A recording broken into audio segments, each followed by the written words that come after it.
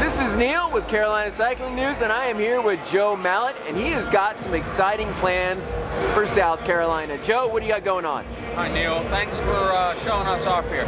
Hey, uh, right here is a drawing of the first bicycle city, and it's located near Columbia, South Carolina, and it's on 160 acres of land with we have an option on another 600 acres, so it'd be over one square mile of car-free living. And we incorporate what we call cycletecture into the community in every way. And here's a drawing of cycletecture, where uh, it's the seamless integration of cycling and architecture.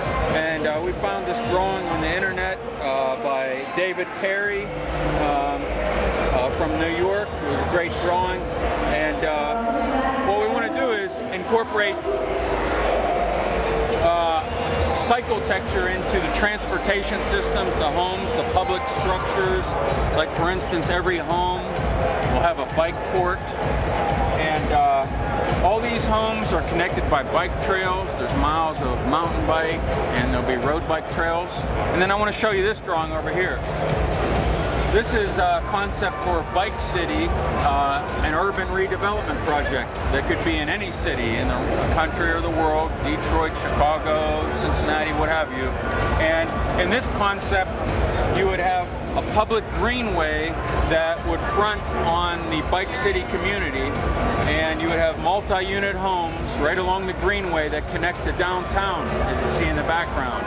So you could live here, work in town, and not even own a car. And you would have organic uh, gardening and farming plots in the center.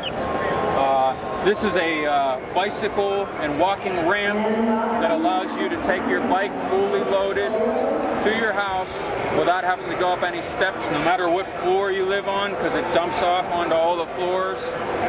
You got uh, solar power and wind power, so it's very sustainable, the idea.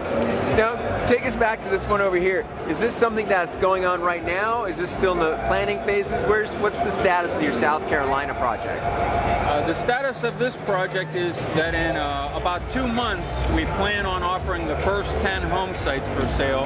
And we've done a little bit of trail work, and uh, we're in the process of uh, about to construct some of the hard surface roads.